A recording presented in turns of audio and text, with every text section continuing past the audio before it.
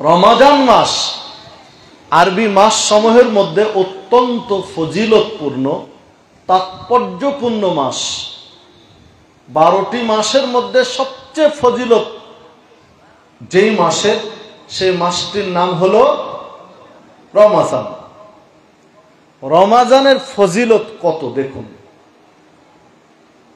রসুল সাল্লাহ আলহি বলছেন, ইদা দাখল রমাজান ফুতিহাত আবু আবুসামা যখন রমাজান মাস আরম্ভ হয়, আল্লাহ আসমানের দরজা খুলে দেন।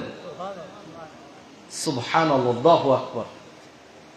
দ্বিতীয় কথা বললেন অফিরেও আয়াতিন, আরেক বর্ণ এসেছে, ফুতিহাত আবু আবুল জান্না আল্লাহ শুধু আসমানের দরজা নয়, বরং জান্নাতের দরজাও খুলে দেন। বর্ণ এসেছে আল্লাহ তার রহমতের দরজা খুলে দেন। তাহলে এক রমাজান, এর এত বরকত, আসমানের দরজা খোলেন, জান্নাতের দরজা খোলেন, রহমতের দরজা খোলেন। অগুল্লেকাত আবু আবু জাহান্নাম সুলসিলাতে শায়াতিন। জাহান্নামের দরজা বন্ধ করে দেন। আর শয়তানকে জিনজির দিয়ে শৃঙ্খলাবদ্ধ করেন, বেঁধে দেন। সহি বুখারির মধ্যে হাদিসটি বর্ণিত হয়েছে। সম্মানিত উপস্থিতি, আরেকটি হাদিসে বর্ণিত হয়েছে। রসুল সাল্লাহ বলছেন, রমাজান মাস আরম্ভ হলে আল্লাহ আসমানের বা রহমতের দরজা খুলে দেন, এই দরজা আর বন্ধ হয় না। পরবর্তী মাসের চাঁদ না ওঠা পর্যন্ত। এর ওই আয়াতের, ওই হাদিসের শেষ অংশে গিয়ে আল্লাহ বলছেন ওয়ানাদা মুনাদিম সামা। আল্লাহ রাব্বুল আলামিন আসমান থেকে বান্দাদের ডাক দেন। ডাক দিয়ে বলেন আকবিল। হে কল্যাণের পথযাত্রী, তোমরা অগ্রসর হও। বেশি বেশি নেকির কাজ করো। আকসির। হে অপরাধী, তোমরা থেমে যাও। যারা নেকির কাজ করো সামনে আরও বাড়ো। নেকির কাজ বাড়িয়ে দাও, করতে থাকো। আর যারা পাপি, পাপে মত্ত থাকো, তারা থেমে যাও। এই মাসে ক্ষান্ত দাও। তোমাদের পাপ কাজ থামিয়ে দাও।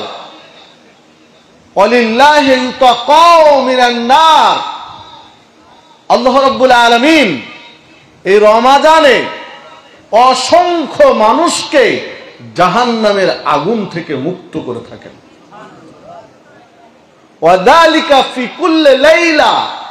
আর এইটা রমাজানের প্রত্যেক দিন হয়ে থাকে। আপনি চিন্তা করতে পারেন, রমাজান মাসের ফজিলত কত? রসুল বলছেন, আল্লাহ ডাক দিয়ে বলেন, যারা নেকির কাজ করো, সামনে বাড়ো, আরও করো। পাপ করো, থেমে যাও। কেননা রমাজান এমন একটা মাস, প্রত্যেক দিন বহু মানুষকে জাহান্নাম থেকে আল্লাহ মুক্তি দেন। কতজনকে দেন তার কোনো হিসাব নেই। সম্মানিত উপস্থিতি, রমাজানে কয়টা সিয়াম রাখতে হয়? উনত্রিশ বা তিরিশ। এক মাস। রসোল্লাহ সাল্লাহ আলহিহাসাল্লাম বলছেন, মান সামা ইয়াউমান ফি সাবিলিল্লাহ।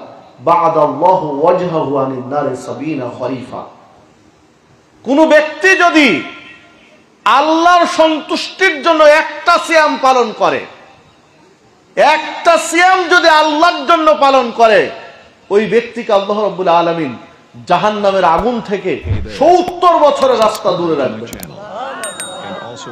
একটা দ্রুতগামী যানবাহনে, একটা দ্রুতগামী যানবাহনে জাহান নামে পৌঁছতে আরও সত্তর বছর লাগবে, এত দূরে রাখবেন। সম্মানিত উপস্থিতি, আরেকটি হাদিসে হাদিস সহি বোখারির মধ্যে বর্ণিত হয়েছে। তিরমিজির মধ্যে একটি হাদিস বর্ণিত হয়েছে, নাসাইয়ের মধ্যেও বর্ণিত হয়েছে। ওই হাদিসের মধ্যে আল্লাহ সুসাসম বলছেন, মান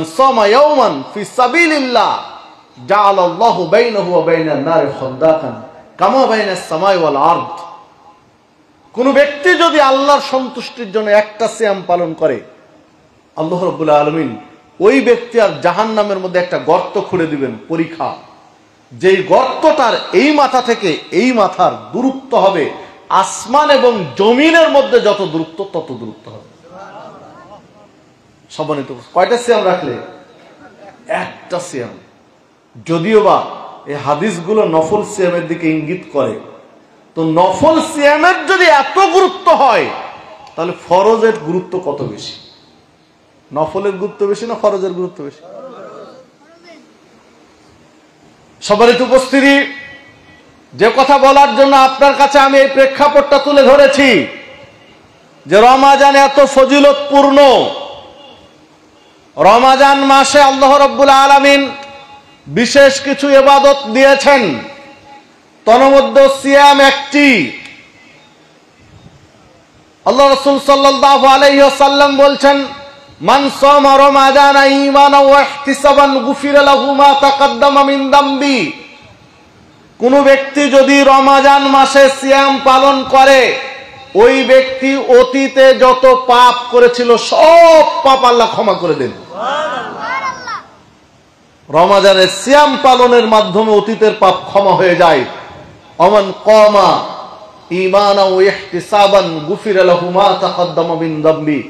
রমাজানে মাসে বিশেষ যে সালাত রয়েছে, তারাবির সালাত তেয়ামুল লাইল, এই সালাত যদি কোনো ব্যক্তি আদায় করে, গুফির আলহু মা তাকাদ্দামা মিন দামবি, তার অতীতের পাপ আল্লাহ ক্ষমা করে দেন ওমান কামা লাইলাতাল কদর ঈমানা ওয়া ইহতিসাবান গুফির আলহু মা তাকাদ্দামা মিন দামবি। কোন ব্যক্তি যদি লাইলাতুল কদর, কদরে রাত জাগরণ করে, ওই ব্যক্তির অতীতের পাপ সমূহ আল্লাহ ক্ষমা করে দেন। সম্মানিত উপস্থিতি, তাহলে রমাজানের গুরুত্ব কত একটু খেয়াল করুন। যে লাইলাতুল কদরের রাত আল্লাহ রসুল সাল্লাহ সাল্লামকে আল্লাহ জানিয়ে দিলেন, হাজার মাস অপেক্ষা উত্তম রাত্রি হচ্ছে লাইলাতুল কদরের রাত্রি। সম্মানিত উপস্থিতি, সবগুলো ফজিলত রমাজান মাস কেন্দ্রিক। তো রমাজানের এত গুরুত্ব কেন? রমাজানের এত ফজিলত কেন? রমাজান কেন এত গুরুত্বপূর্ণ? যদি এই পয়েন্টে আমরা আসি, তাহলে যে কথাটা ফুটে ওঠে, রমাজানের এত গুরুত্ব কিসের জন্য? আল কোরআনের জন্য। কোরআন মাজিদের কারণে রমাজানের এত রমাজান মাসে আল্লাহ রব্বুল আলমিন এই কোরআন মাজিদ নাজিল করেছেন। শাহরু রমাজান আল্লাযী কোরআন। আল্লাহ রাব্বুল আলামিন বলছেন এই সেই কোরআন মাজিদ যা আল্লাহ রাব্বুল আলামিন রমাজান মাসে নাজিল করেছেন। তো রমাজান মাসে কোরআন নাজিল করেছেন এই জন্য এই মাসের গুরুত্ব এত বেশি। তো কোরআন নাজিলের কারণে এত গুরুত্ব বেশি হবে কেন? হওয়ার পিছনে যে মৌলিক কারণ, এই কোরআন মাজিদ, আল্লাহর পক্ষ থেকে যত মোজেজা রয়েছে, তার মধ্যে অন্যতম একটা মোজেজা হচ্ছে কোরআন মাজিদ। কোরআন মাজিদের শুরু থেকে শেষ পর্যন্ত, সৌরাতুল ফাতিহা থেকে সৌরাতুল নাস পর্যন্ত পুরো কোরআন মাজিদের প্রত্যেকটা অক্ষর, প্রত্যেকটা শব্দ, প্রত্যেকটা লাইন, প্রত্যেকটা সৌরা, প্রত্যেকটা পৃষ্ঠা কোরআন মাজিদের সব শব্দগুলো কার কালাম, কার বাণী? আল্লাহ পুরো কোরআন মাজিদটা আল্লাহর বাণী। এইখানে কোনো মানুষের একটা শব্দ যোগ বিয়োগ করা হয়নি। একটা শব্দ কমিয়েও দেওয়া হয়নি, একটা শব্দ বাড়িয়েও পুরো কোরআন মাজিদটা আল্লাহর বাণী। আল্লাহর বাণী যে মাসে নাজিল হয়েছে, সেই মাসের ফজিলত এই জন্যই। কারণ সরাসরি আল্লাহ তার বাণী নাজিল করেছেন এই রমজান মাসে। একজন ব্যক্তি যদি কোরআন মাজিদের একটা অক্ষর তেলাওয়াত করে, তাহলে কয় নাকি হবে? কয় নাকি হবে?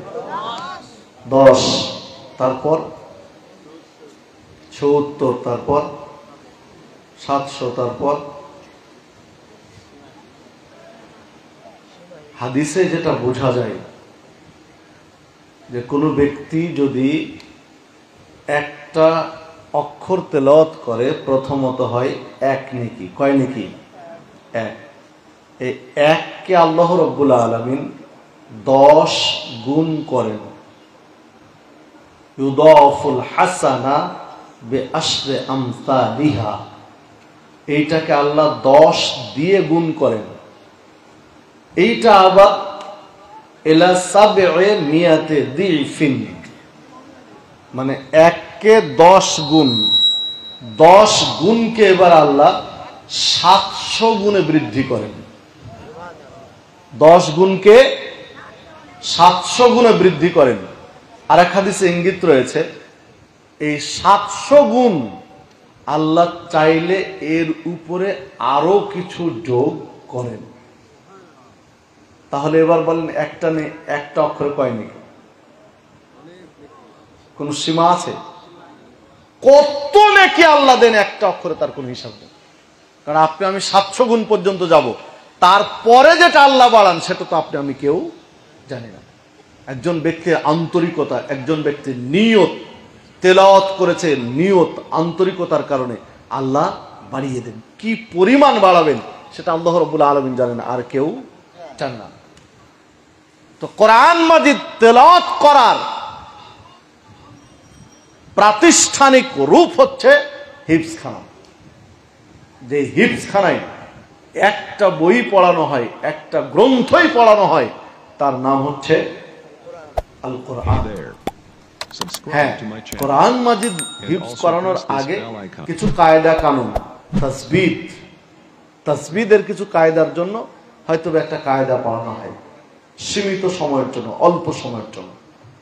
তাকে রানিং করে নিয়ে তার পুরো সময়টাই ব্যয় হয় কোরআন তেলাওয়াতের পিছনে কোরআন মাজিদ তেলাওয়াতের পিছনে।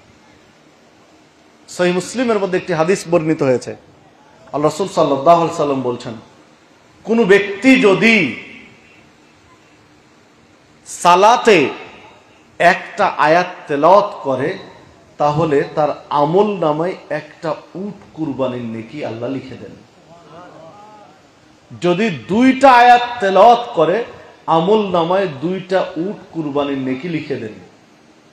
যদি তিনটা আয়াত তেলাওয়াত করে, আমল নামায় তিনটা উট কুরবানির নেকি লিখে দেন। তাহলে এবার হিসাব করুন তো, কোরআন মাজিদ সালাতে সবচেয়ে বেশি কারা তেলাওয়াত করে? যারা হাফেজ। যারা হাফেজ। তাহলে সালাত পড়ে নেকি বেশি কাদের হবে? সালাত পড়ে নেকি অর্জনের সুযোগ কাদের বেশি? সহি মুসলিমের আরেকটি হাদিসে বর্ণিত হয়েছে। আল্লাহ